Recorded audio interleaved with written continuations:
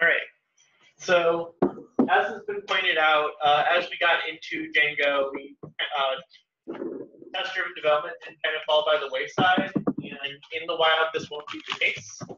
Test-driven development does remain relevant at every level that you'll be you'll, uh, that you'll be working in. So Django does have built-in means to test your software.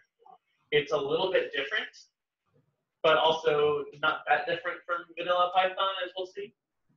And in the future, as we move in to learn more coding languages, more uh, more frameworks, there are many, many different software testing suites out there. And you'll be, and some of them are good for some things, some of them not so good for other things. But I just wanted to show you that A, unit testing is not only possible with Django, it is actually pretty simple. And just give you an idea of what you may be doing as you move forward. Because when you do your uh, personal and group projects, we are going to be expecting testing at every level, so it's good to see this now. So I'm going to quickly, I'm going to start a project. So I'm going to call this one Zookeeper.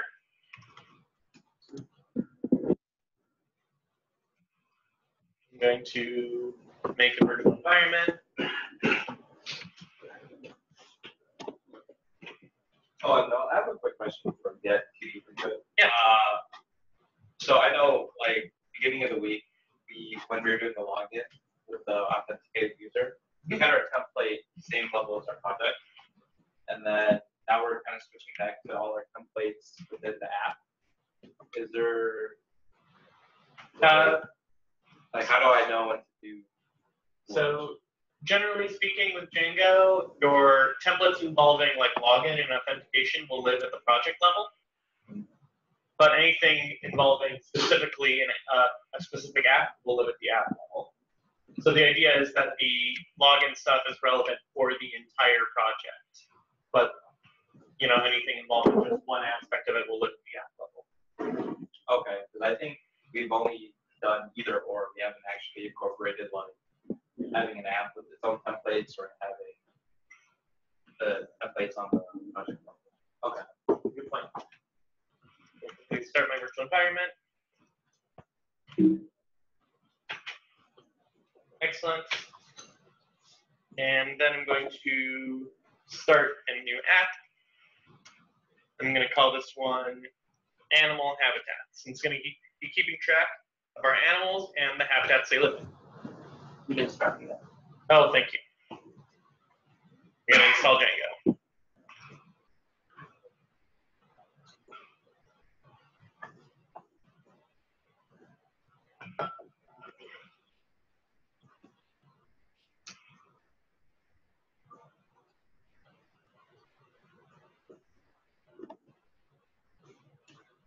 There we go.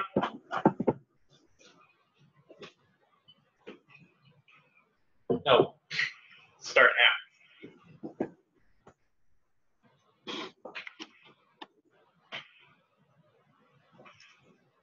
There we go.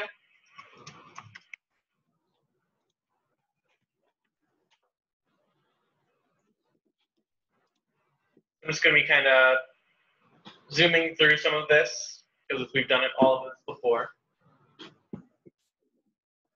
I hate when it doesn't automatically Let's see any rhyme or reason when it does, it doesn't. Okay, so I'm going to quickly make some models for my uh, animal habitats. I'm going to have one class called habitat.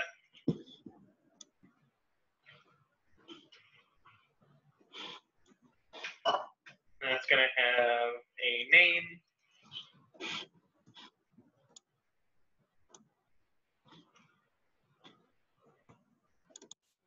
I'm going to give it a max and a max occupancy.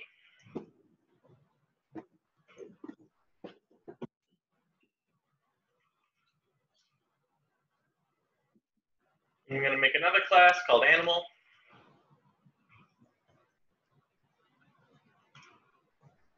I'm going to give it a name.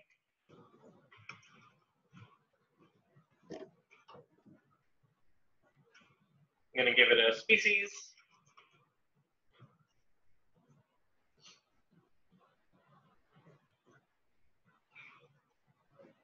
And an age.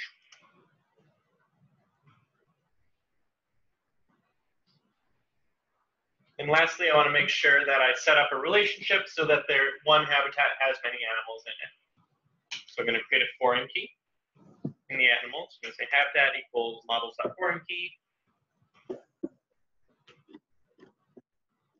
Goes to habitat um, on delete equals models.cascade. And related name going to be animals.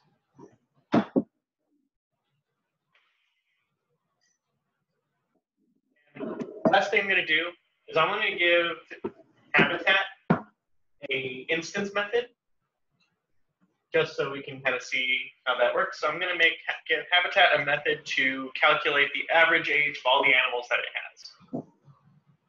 And this is something we in the wild we wouldn't really necessarily need an instance method for this, but again, this is just kind of a example. So I'll call it AVG animal age.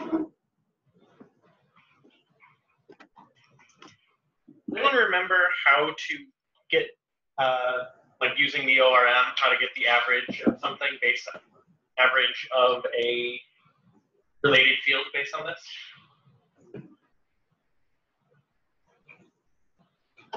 Let's take it step by step. First off, how do I get from a habitat to its animals?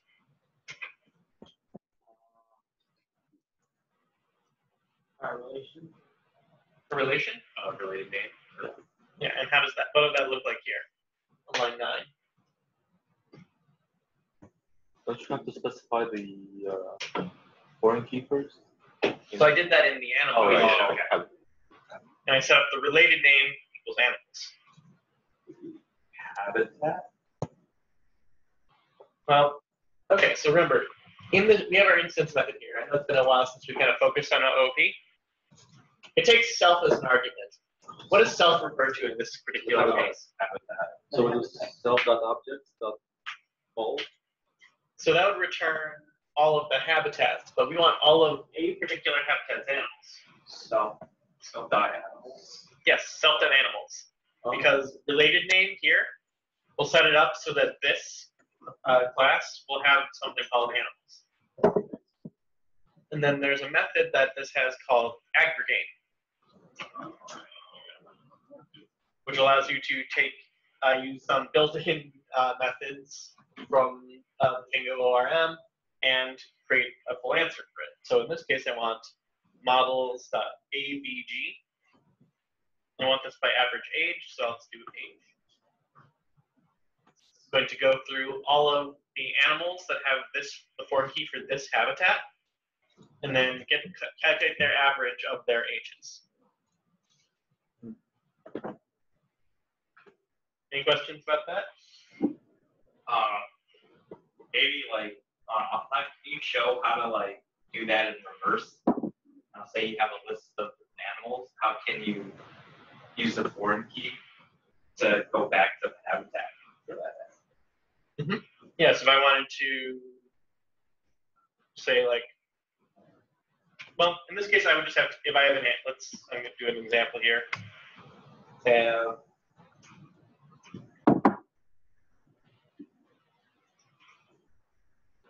That's just an, an animal object. To get from there to its habitat, you just need to write a dot habitat.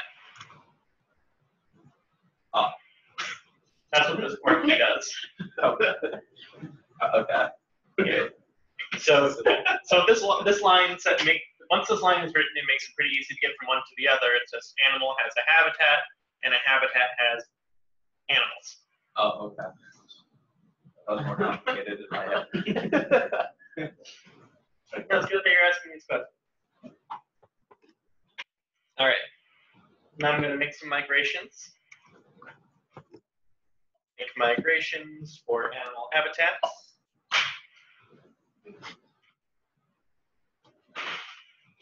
Go install the latest app.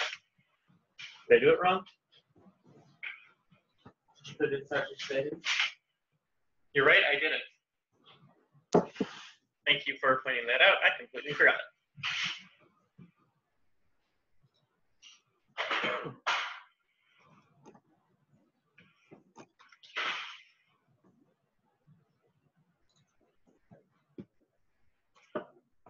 There we go. And then I can Python manage.py migrate. That all looks good. So now we have our model set up. Everything should be working on that front. And now we can actually start trying to write some tests. And if you look, maybe you've noticed this in the past, when you generate an app with Django, it gives us a few things, admin.py, apps, models, and tests.py. And up here I get from Django.test import test case. So that should look pretty familiar because unit test also something called test case when we were using unit test. So Django.test is a library that works almost identically to unit test. Uh, most of the syntax is nearly identical. So quick refresher on how to write those tests. So we set up a class. I'm going to call it habitat test case. And it inherits from the test case model. And first thing I'm going to do is I'm going to define a method called setup. And setup is going to take self as an argument. And remember, setup in unit test is always code that runs before each test it actually gets run. And so I'm going to do is I'm going to create some objects to actually do my tests on. I'm going to do habitat can equal habitat.objects.create. So essentially creating that object and saving to the database in one step. Name equals penguin house. Max occupancy equals 75 or 70. Why not? They can say habitat uh, animals dot create name equals Rocky species equals emperor penguin and age equals 12. Let's create a couple more. I'm just going to copy this line.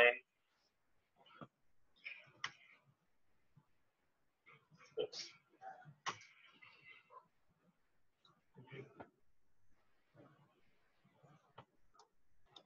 It's a Harris. It's a rockhopper penguin. And he is nine years old. And Leona is an Adelie penguin who is six years old. And I'm going to write a quick test to test out, see if that average age function works the way we expect it to. So I'm going to test AVG age. We say habitat equal habitat dot objects dot first. So I'm going to say self dot assert equal habitat animal age and I'm expecting it to be nine.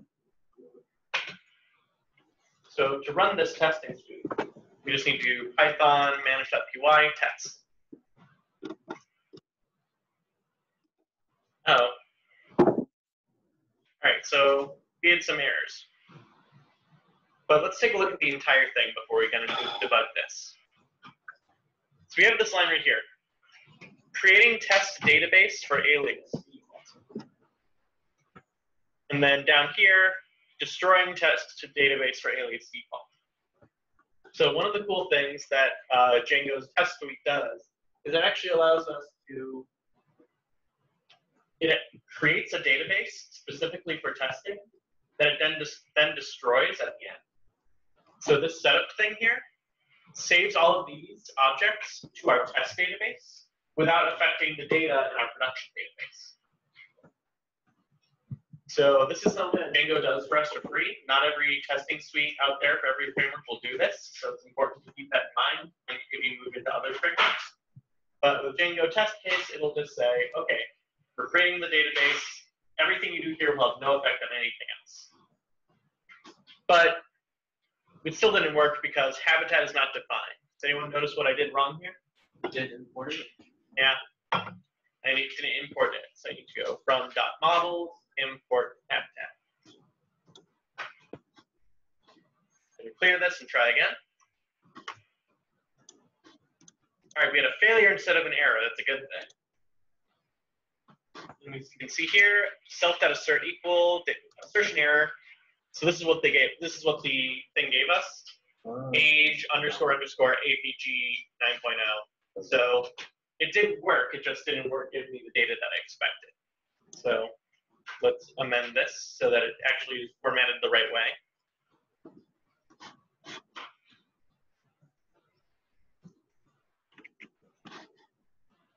Gonna run this again. All right, all the tests, the tests pass. So is this all looking kind of familiar now? What questions do you have about testing so far? So when we're testing, do we need to test the models or do we need to test like the, the methods that we define? Because like we don't really want to test the models or the forms because they're kind of built-in methods that are more or less reliable, right? Excellent point, yes. So in general, you don't need to spend that much time testing your models if you were just using the standard built-in Django stuff. Like even this method I used here, the uh, average animal age, all this did is use a built-in Django method that we know works. So in the real in the real in real life, there really wouldn't be much point to te- making a test for this particular thing. Testing for controllers then? Yeah. So one thing, yeah, this one you do is can test our controller to make sure that everything is working on the right way there. Because I want to say, all right, this is the important bit. If I can, you know, if I visit my list of habitats, I want to know that the habitat that is that I, the habitat that I created is in that list, for example, right? So let's do that. So I'm going to quickly kind of zoom through everything else and try to get the you know, get uh, get a basic version, uh, basic index up and running. So first we go to URLs.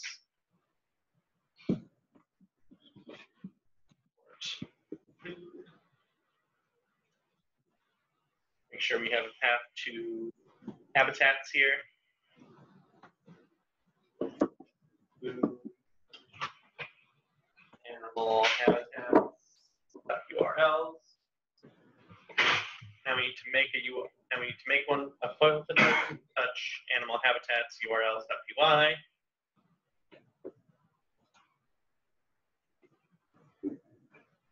From Django.urls, we need to import path. We also need to import the views. Set up the URL patterns array. Get a path that are just our basic page without any URI attached to it. It's going to be views.habitat list. The name will be habitat list. Let me know if I'm going too fast here. I just didn't want to spend too much time retreading old ground. But if, and if any point I do something that goes doesn't make sense, please just point it out. Good question. On line two, instead of saying from dot, can you just say import views instead? You can try.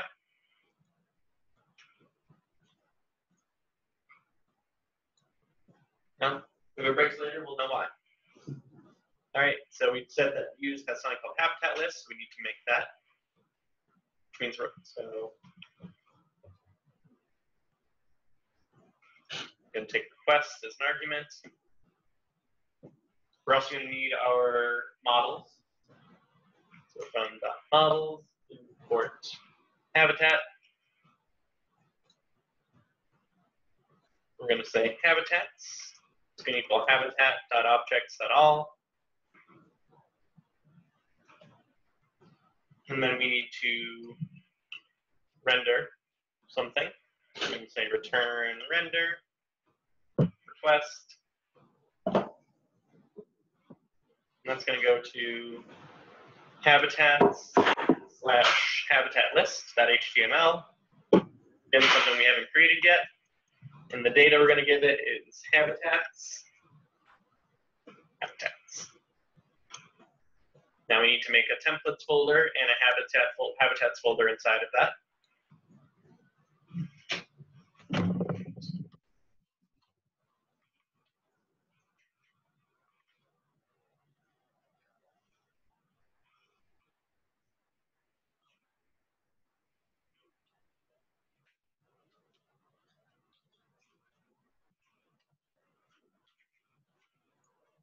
I'm going to make habitat list.html.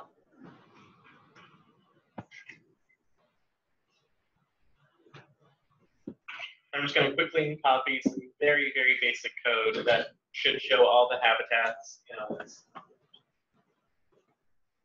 So we got a list of habitats, for habitat habitats. We have links showing the habitat name. And for we don't have a link to anything yet, we don't have detailed on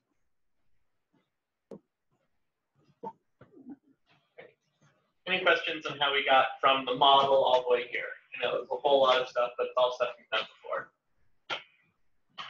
Okay, so generally at this point is when I would boot up my server to make sure it was all running. But in this case, what I'm going to do is I'm actually going to just check, I'm only going to check it via my tests. If the tests work, great. If not, oh well. So back at tests here. I'm going to have to do uh, add something that wasn't there before. so Django.test has a class called client. And the client's job is to mimic the behavior of a user when it comes to navigating pages. So the client is capable of making GET requests and POST requests. I'm going to make a new thing right here. I'm going to call this test habitat list. I'm going to say client is going to equal a client object. And for now, I'm just going to say response equals client dot get. And the it needs a URI here, so I'm going to tell it to go to slash habitats. And then I just want to print the response for her. I want to see what that what that actually is. I'm going to clear this. Get out of there. Thank you. Test. Okay. Well, okay, we know what happened with the mm-hmm. module. No module named views, so we do need to do from dot models from dot import views. Uh, Hey, now we know what. Now we know that we do this for a reason. Part of testing. Yep. To run again. Here it is. So we have an HTTP response permanent redirect, status code 301, text HTML, char set, URL equals habitats. So interesting is that that's not the URL I put earlier. I'm gonna try something real quick. I know in the official documentation it's it, they describe it as this with a slash, because ideally, does anyone remember what a status code 301 does? Redirect. Yeah, status code 301 means it redirected. We're looking for a status code of 200, which means that it all went out the way we wanted it to. So there we go. So in this case, we got a status code of 200, text HTML here, and charset UTF-8. Right, What did you change for it to? So I added a slash at the end of this. Okay. So essentially what I was saying is if I visited localhost 3000 slash habitats without the slash, I would actually get redirected to localhost 3000 slash habitat slash. Oh, okay. So the response allows us to, so the response includes all of the HTML that gets rendered. So there's a few ways we can test this. One of them is there is a method called assert contains.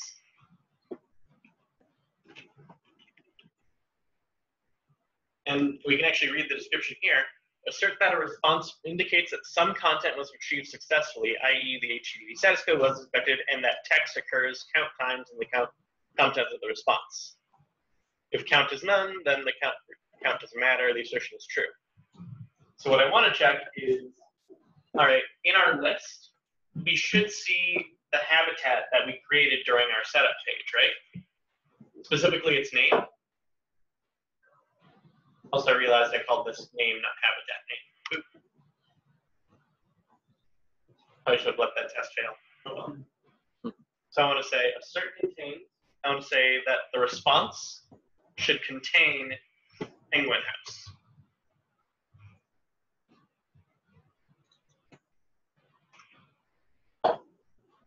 So the test ran okay. I'm actually going to put this back to the way it was to see what it looks like if the test fails.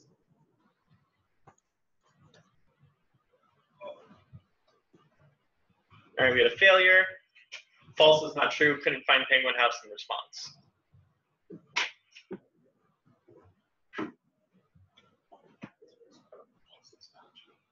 Because I gave it habitat habitat name instead of habitat dot name, which is what I put it in my model.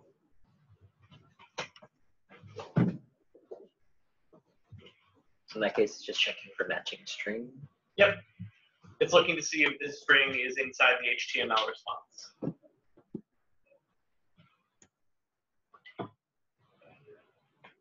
This is very nice. Mhm. Yeah, simple, right? Yeah. All right, so I'm going to do one more thing with this. I want to make sure that we can actually successfully post data. So I'm actually going to do, uh, so I just add like a little extra thing that I didn't need to do as well. Is I would like to show you, like, I know we've been using, you know, the Django's magical form class stuff, which is cool. But I would like to show you how you could make it without it, just so you can kind of see what's going on under the hood again. But after this, you'll probably see why we use the class. It is actually a lot easier. So I'm going to go to my URLs, make a path to slash new. It'll be just new. No slash new. Oh, Was right. It's going to go to views.new habitat. Name is going to equal new habitat.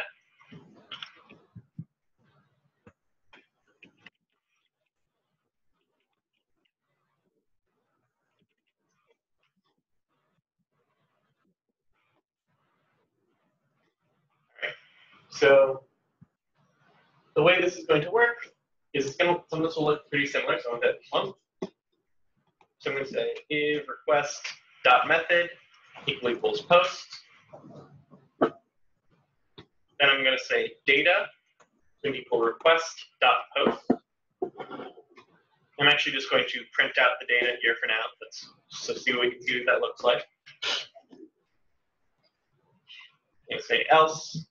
I want to return render. That's how you spell return. Return render requests. Going to habitats slash habitat form.html.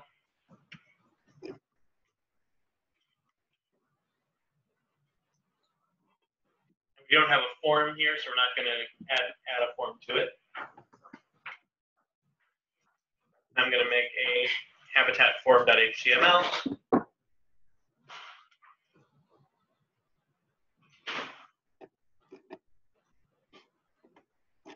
So to make this without the form helper, use form. Wait a second. There we go. The action is going to be using this. I'm going to use count just like a URL or a link. I'll say URL that goes to new habitat.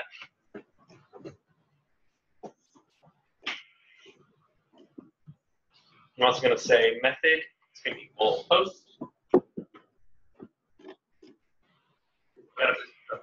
Their quotes on your habitat. Oh, thank you.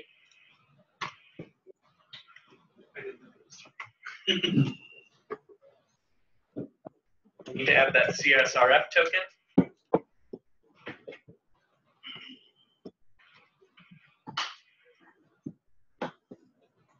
That token's a security thing, right?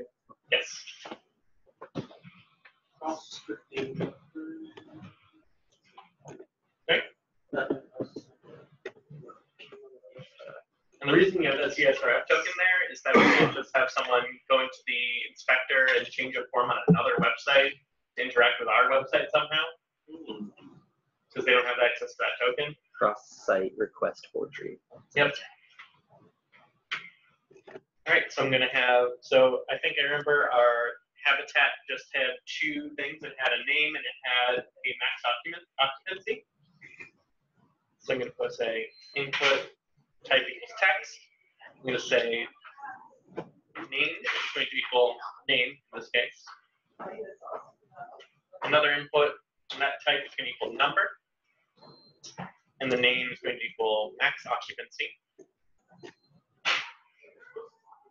And then I'll give it input type of submit. So I'm going to boot up the server. A look at this. Uh, oh, what has this? Oh, okay, the slash is unnecessary. All right, so I can get rid of that real quick.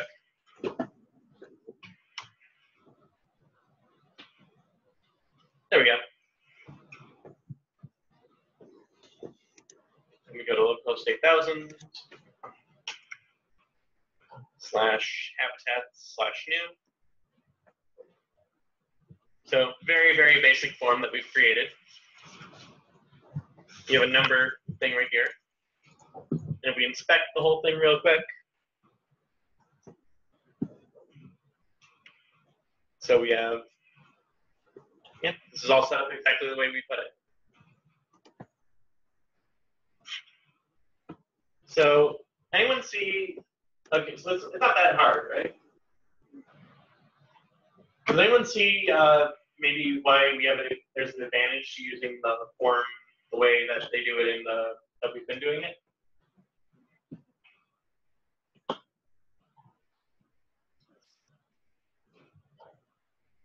They can't change anything to source stuff. thing. And right now, it's not very secure, but the main thing I'm noticing is that we can't really just remake this for an edit request the same way that the form can. We have to write an entirely new form specifically for updating, which is not, again, for this, in this case, it's not super difficult, but it's more difficult the more complex the forms get. But in any case, I'm going to say, all right, let's call this Tiger Den, hit submit.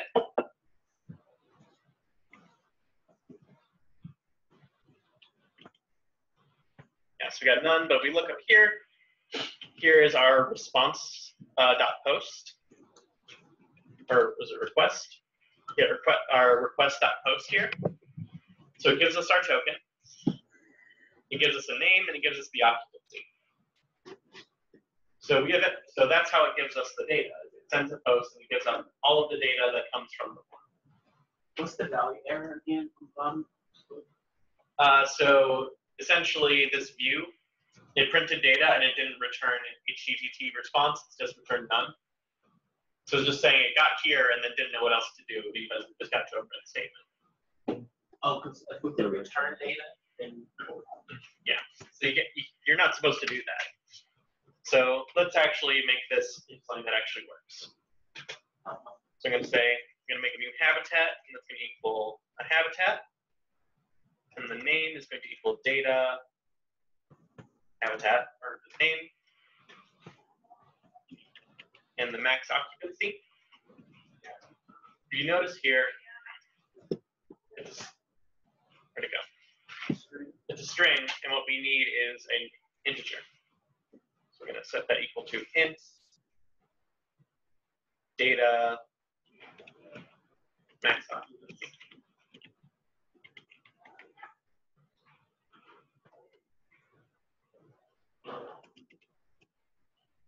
And then we can say habitat.save. And then when you successfully do something, you're supposed to redirect. So I'm going to import redirect here. I'm going to return redirect In this case, I'm just going to take it back to the habitat list, so I don't have to make a view, uh, a detail view for now.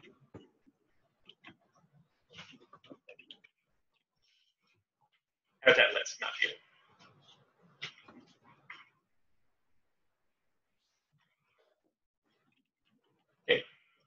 So there's my tiger den. It doesn't go anywhere. So we have a basic form now. And again, at the moment, it's not that much more complex to make your own forms from scratch instead of using the uh, Django's imported, uh, you know, uh, form classes. But we're going to get into, you'll see much more complex forms involving a lot more data that may need to be reused more often. So even though you don't have as much control over it as you do with writing your own from scratch, you also it also saves you a lot of work. Uh, any questions about making your own form from scratch before we go back into testing?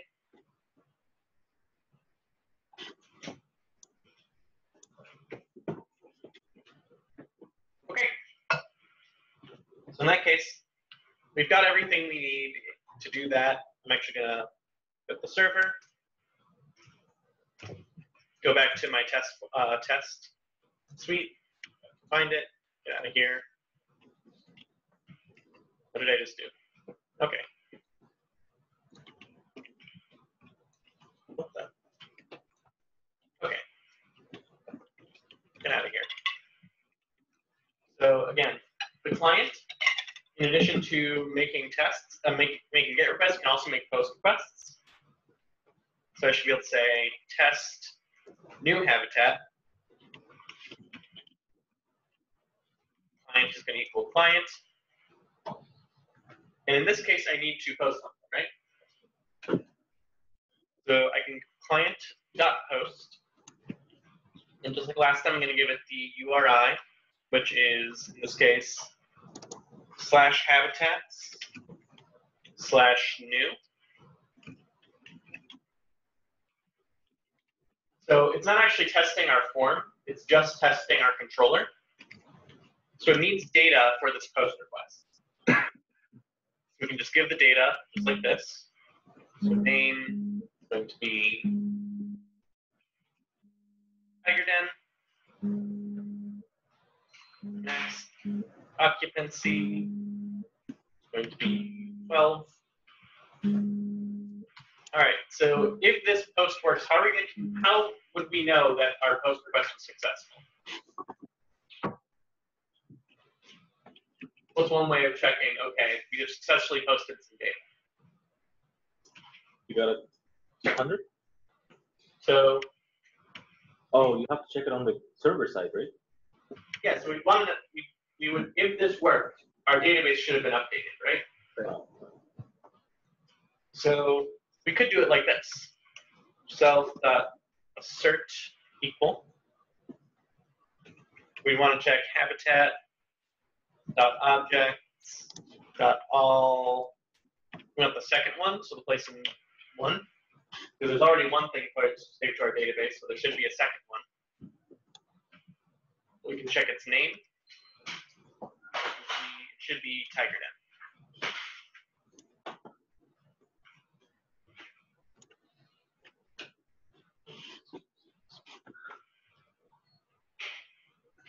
Python manage.py test. Uh-oh. Something didn't work. List of out of range. Index out of range. So that like what that tells me is that maybe it didn't work. Because there should be two things in the database right now. The one that we created during our setup and this new one here. So I could, you know, print List it all. Yeah, do uh, habitat.objects.all just to check.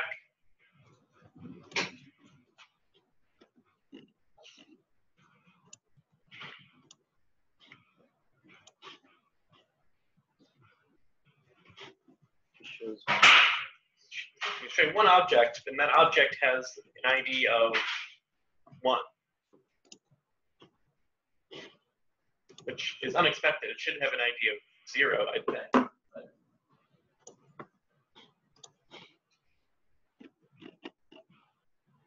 All right, that doesn't tell us anything. That's why you get that string method.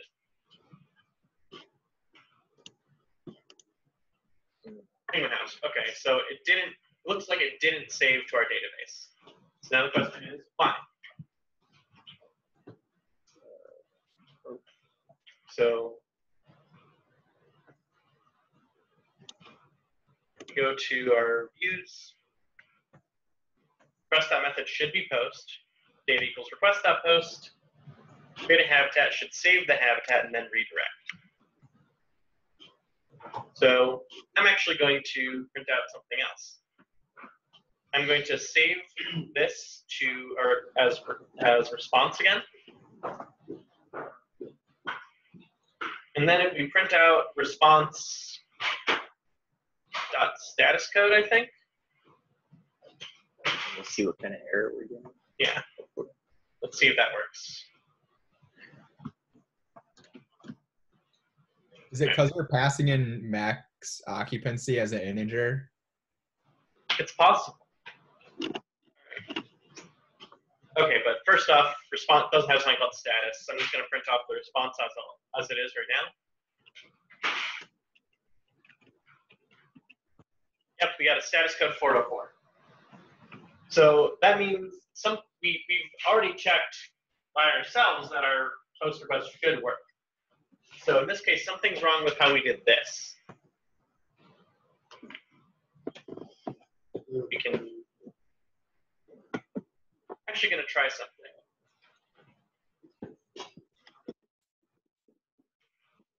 This, this is how I did formatted the first time I did it.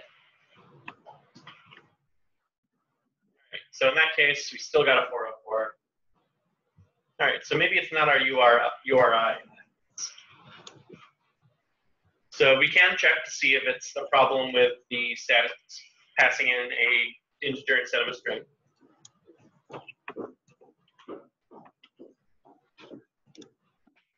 All right, still get the same problem, still getting a status code of 404.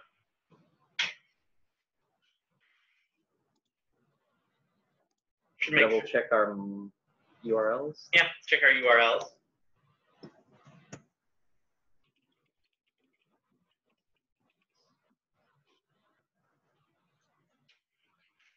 Yep, And also check our server. That should still be working, but you never know.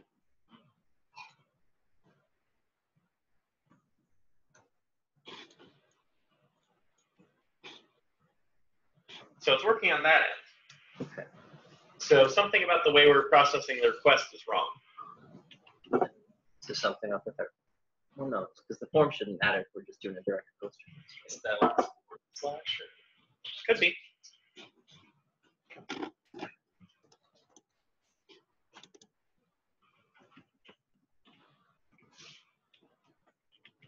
There it goes. Okay. So it was the slash. Oh, Could be there's nothing ready to come after that. It could be the slash. I want to check one more thing that just occurred to me. But that's the reason. Yep. Yeah, but even then, it's. I mean, it's redirected to the right place, but it's still doing the three of them. So in this case, the 302 is actually what we expect. Because in our views, we return Oh, redirect. redirect. Gotcha. So this is returns the 302 status code. Okay. I'm going to try one more thing that just occurred to me. So see if it makes a difference. I'm going to deactivate the server and run the test again. Okay, cool. So it was that slash in that case. Hmm. Interesting that it needed this. So connect to there, but there you don't need the slash. Hmm. All right. Oh, is it probably because you've got the extra the URL file for habitats? It knows there's more stuff coming after it Yeah, you're probably because you got right. the extra file. Mhm. Whereas there's nothing set up to know there's anything coming after new. Like we put in a new URL for like new slash something, not like we would, but to see slash would be fine. Yep. I think you're right there. So it's going to slash habitat slash because that's just like okay, it's explicitly that explicitly says there's no further things in the URI after the habitats, But in this case, new is just an endpoint. There's nothing that can come after new. So didn't know what to do with that. Interesting. So slash habitat slash new gets us to post the data, and we can see that the last thing, the second thing in objects.all is the tiger dot. So you'll notice, well, any, first off, any questions about how we checked our post data?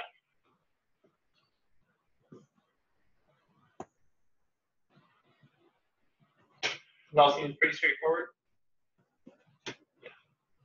So you'll notice that even though we can test what's our HTML response using the self assert contains here, that isn't the same thing as checking what actually shows up on the page.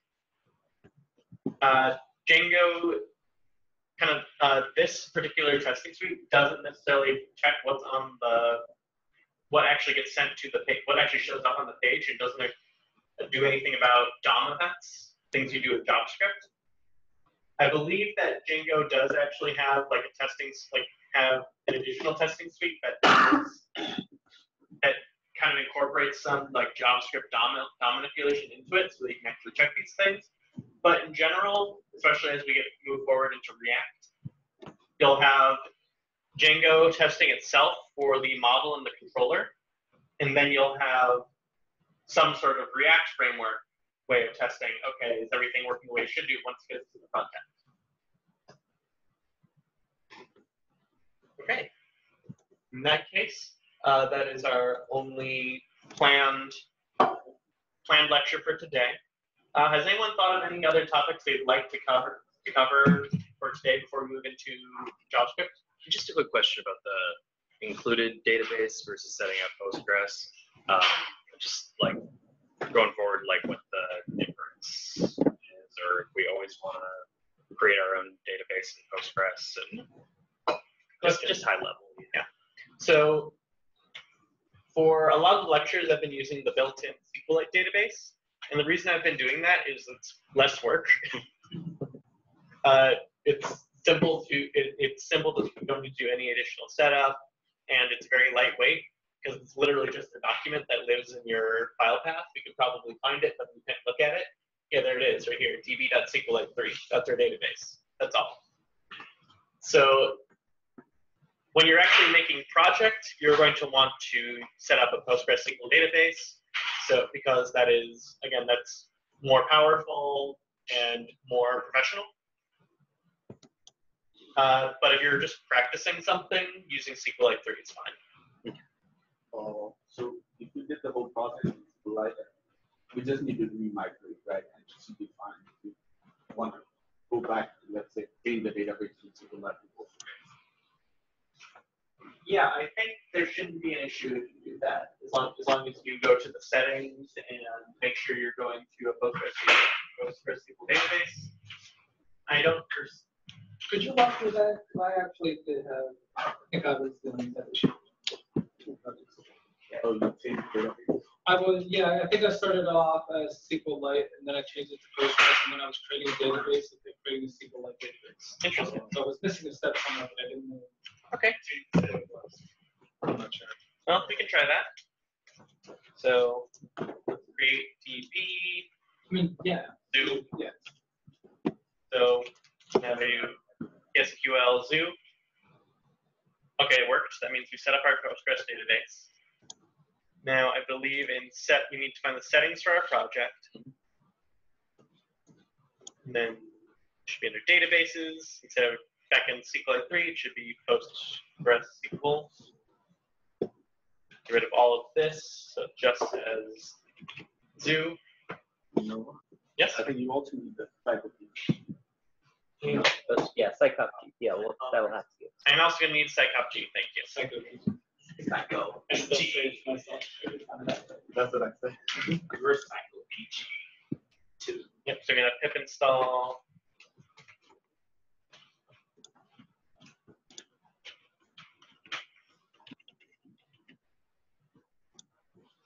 Right, so I'm going to take a look real quick at the migrations that we already have. Because this is where this is how we connect our models to our database. So if there's anything in here that's already set up to connect to connect to that. All right, so we have django.db.models here. What about the init? Nothing's in there. So I'm going to first. I'm actually going to try to. I'm just going to try to migrate again. See what happens.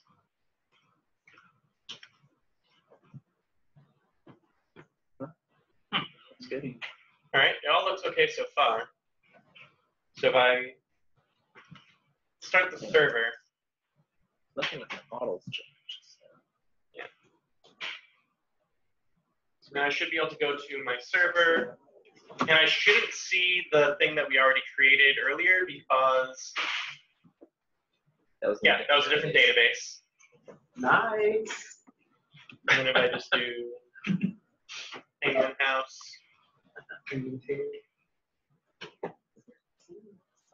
there it is. Yeah, so it looks like it's just that simple. Um, so if you if you created something with SQLite, you just need to make sure that you up you create a Postgres database and update your databases. I don't even know if running the migration again was necessary, but I think it was. I think so, because you have to put that into the data. That's the only way those models go into the database. Yeah. With the migration. Yeah. So yeah, just update your settings.py and migrate, and you should be fine.